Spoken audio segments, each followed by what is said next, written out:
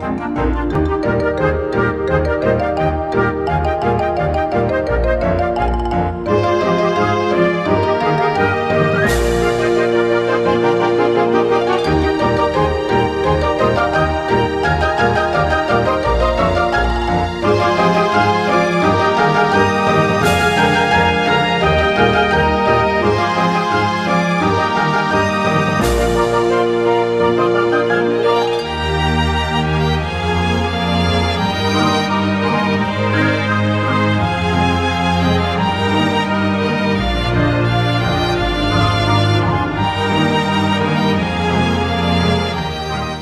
Ecocultura, televisión comunitaria, oportunidad para todos.